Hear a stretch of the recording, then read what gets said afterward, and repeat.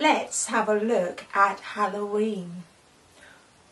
Pumpkin, ghosts, witch, bat or a bat, which rhymes with a cat. Costume with a mask, scary, or you might have a little bit of blood in there too. We like to go out trick or treating. Go trick or treating and you might get some sweets when you go. Zombies with hands and bones. Have lots of fun over Halloween.